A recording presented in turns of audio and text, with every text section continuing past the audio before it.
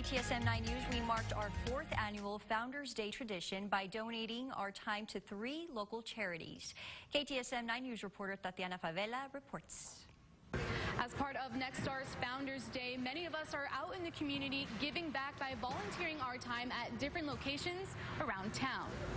Nexstar is KTSM's parent company. To celebrate, we volunteered at the El Pasoans Fighting Hunger Food Bank, sorting a total of 2,000 pounds of cereal along with 600 pounds of bread. We couldn't leave out the pets, and that's why staff who donated their time to the Humane Society helped make treats and prep meals for the dogs and cats at the shelter. It's nice to know that our, our city backs us and that we can um, count on them to, to help us when we're in need, when the animals are in need of toys or food or just time to spend with them and cuddle with them.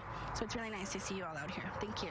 Some employees volunteered for the Salvation Army, helping prep 100 sandwiches, 65 meals for breakfast, and 200 lunch and dinner meals. And next year, KTSM 9 News will continue its tradition of Nexstar's Founders Day by volunteering our time and inviting you guys, the community, to volunteer your time as well. Reporting in Northeast El Paso, Tatiana Favela, KTSM 9 News.